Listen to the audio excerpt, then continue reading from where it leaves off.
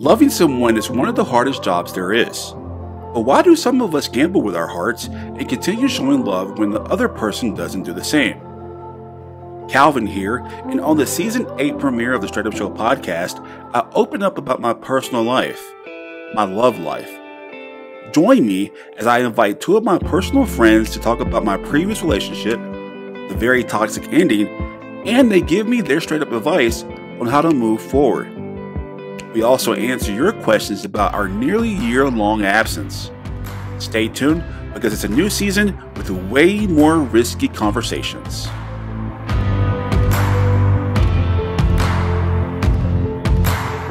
All I know,